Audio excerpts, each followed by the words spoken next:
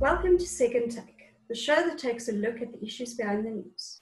The Portfolio Committee on Mineral Resources and Energy has held virtual meetings to assess the short to medium term plans of the department and some of the entities that fall under it. Terence Creamer joins me to discuss some of what has been shared with lawmakers. Why are these meetings being held now and what are they designed to achieve? Well, these meetings are taking place because the different uh, departments need to get their budgets approved in line with the budget that was announced by Finance Minister Tito Mboweni in February. So they have the annual performance plans and their strategic plans, which they present uh, so that their budgets can be approved by the Parliament. The issue this time around is because of COVID 19, there's going to be an amendment budget on the 24th of June.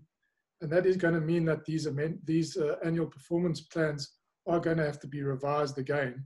But we need to first approve the budget so that we can amend it. It seems a protracted process, but that's why these various portfolio committees are meeting at the moment, not just for mineral resources and energy, but across the board.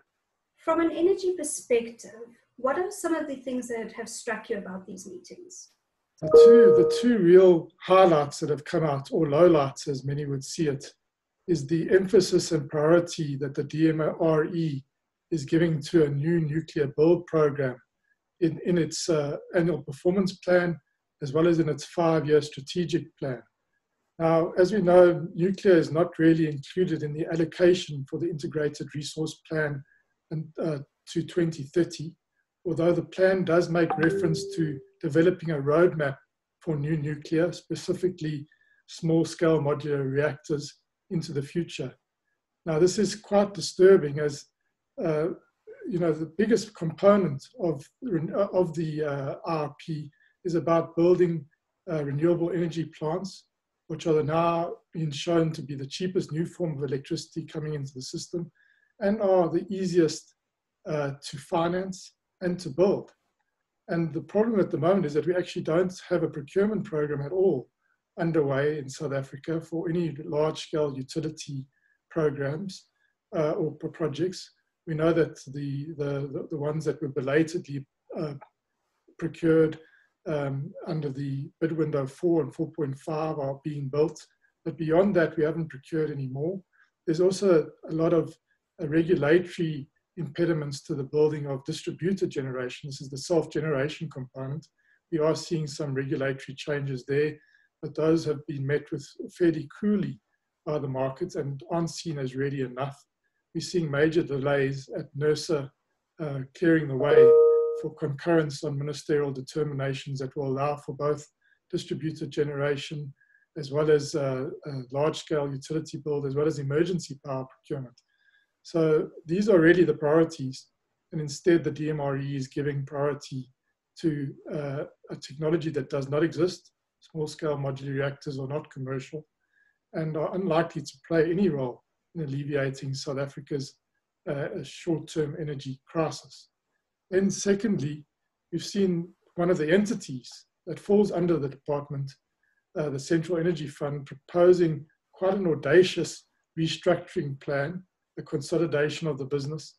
And in that plan, really raising uh, some really hair raising issues around trying to access part of the revenue pot, uh, 25% of the fuel levy, any uh, some of the proceeds coming in the form of the carbon taxes, as well as making a grab for key sectors within the future energy market, such as uh, being the designated provider of uh, liquefied natural gas infrastructure into South Africa, building a new crude oil refinery, becoming the custodian or the owner on behalf of the state of all of, a, of several other key energy infrastructure assets, as they call them. And this is, uh, this is from an entity whose uh, subsidiaries, particularly PetroSA, have failed dismally in the past to deliver, deliver on the mandate. So those are some of the two, as I describe, lowlights that have emerged from the committee meetings. What is all this saying about where the department is at at this point? I think it really tells us that the Department of Mineral Resources and Energy is currently out of touch with what the real needs of the energy market are, what the needs of the sector are, how important it is to deal with decisively with this uh, electricity, prevailing electricity gap that we know is going to return once the post COVID uh, market starts to recover and demand starts to recover again. Uh, we know it seems that obviously we've bought ourselves a bit more time in terms of load shedding, but there's still going to be a risk of load shedding uh, when demand recovers, hopefully sooner rather than later, although with the lockdowns being extended, demand will probably remain depressed for some time. So we, we need real solutions, and uh, small modular reactors are not real solutions. Uh, distributed solar on rooftops and distributed uh, other uh, energy efficiency is a real solution and can be financed. We've already proved that. A large scale utility wind farms and solar farms can be built and can be built on time and in budget and off the fiscal balance sheet. That's been proven. So these are the real solutions. We need to get the impediments out the way for the building of these solutions. And then on the uh, Central Energy Fund, yes, it does need to restructure. But I think the, some of the proposals in that restructuring plan really needs some very tight scrutiny, not only by the lawmakers, but energy stakeholders, because this is a real power grab and one that can have long-term effects on the uh, market. It's not only a grab of revenue, but precious revenue at this time, which is in short supply, as we know, with uh, tax revenues falling and with the outlook for the economy looking so dismal. So for the CEF to be trying to take um, revenue out of that pot is somewhat uh, audacious.